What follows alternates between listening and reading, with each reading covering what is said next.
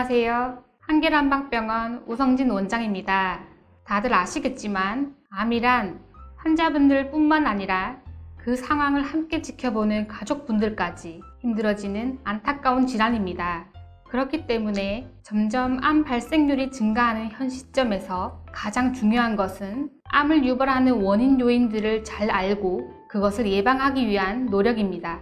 실제로 많은 분들이 암 위험 요인에 대해 관심을 가지면서 술, 담배라든지 또는 조심해야 될 음식 등에 대해 잘 알고 있는 반면 감염이 암을 유발할 수 있다는 사실은 잘 모르는 경우가 많습니다. 그래서 오늘은 주의해야 할 암 유발 바이러스에 대해서 알아보고자 합니다. 물론 저희 함께 한길TV의 앞전 영상들에서 한 번씩 언급된 부분도 있지만 이 기회에 한번 정리해 보겠습니다. 국제암연구소의 발표에 따르면 B형, C형 간염 바이러스, 인유두종 바이러스, 간흡충 간디스토마, 헬리코박터 파일로리균을 1군 발암 물질로 규정하고 있습니다.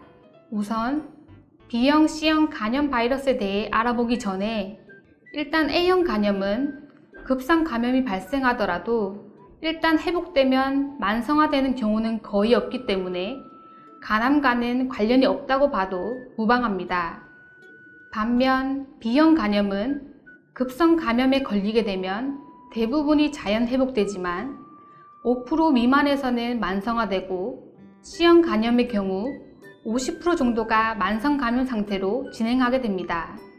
이런 만성 감염 상태가 수개월 또는 수년 동안 지속되게 되면 염증이 간세포를 점점 파괴함에 따라 정상 조직들이 비정상적인 반응 조직으로 바뀌게 되고 또한 이러한 과정들이 반복됨에 따라 간경변이 발생하고 그리고 결국 간암으로 진행하게 됩니다. B형, C형 간염 바이러스는 혈액, 침, 정액 등 우리 몸의 체액 내에 존재하기 때문에 이러한 체액이 손상된 점막 등을 통해 몸에 들어오면 감염될 수 있습니다.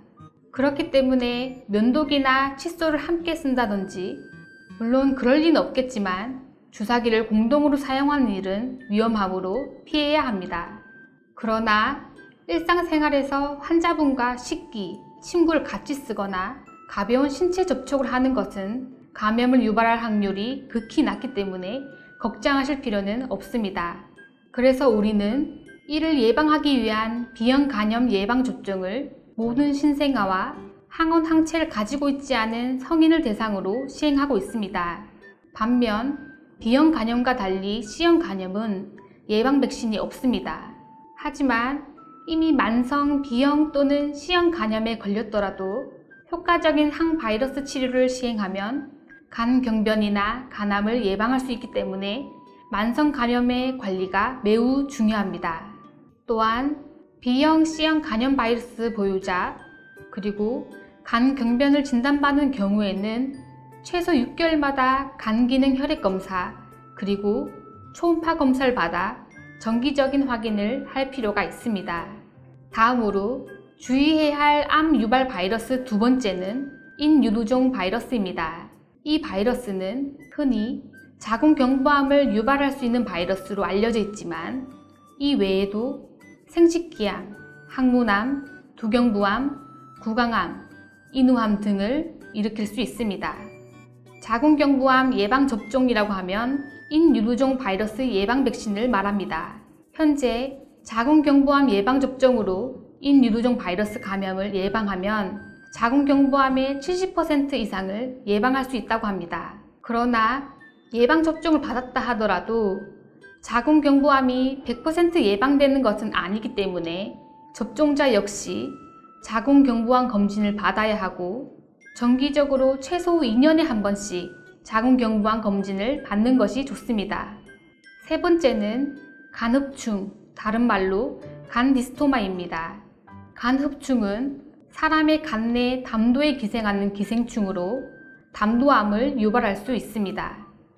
주로 민물고기를 날로 먹거나 덜 익혀 먹었을 때 감염되기 때문에 민물고기는 반드시 익혀 먹어야 합니다. 민물고기를 즐겨 드시는 분들은 대변 검사를 받아볼 필요가 있으며 만약 간 흡충에 감염되었다면 적합한 구충제를 먹어 치료해야 합니다. 네 번째는 헬리코박터 파일로리균입니다. 헬리코박터균은 위에 기생하는 세균을 말하며 위에 염증을 일으켜 위축성 이염, 장상피 화생, 이 형성증의 다단계 전암성 병변으로 진행하면서 유전자의 변이를 가져옵니다. 헬리코박터균에 감염된 사람은 그렇지 않은 사람보다 위암에 걸릴 확률이 두세 배 높다고 알려져 있으나 헬리코박터균에 감염되었다고 모두 위암에 걸리는 것은 아니며 감염자 중 일부에서만 위암이 발생합니다. 현재로서는 암 예방을 위한 헬리코박터균의 집단 검진이나 제균 치료 등은 효과가 충분히 증명되지 않아 일반적으로 권하지 않고 있습니다. 그러나 소화성 궤양, 조기 위암, 위에 림프종이 있는 경우에는 위암 예방과 위암 진행을 막기 위해 헬리코박터균을 항생제로 치료할 필요가 있습니다. 헬리코박터균의 감염 예방이나 치료만으로 위암을 예방하기는 어려우며 현재까지 위암 예방을 위한 가장 좋은 방법은 정기적인 검진입니다. 우리나라에서는 만 40세 이상은 2년마다 위 내시경으로 위암 검진을 받기를 권장하고 있습니다. 이상으로 한길 한방병원 우성진 원장이었습니다. 감사합니다.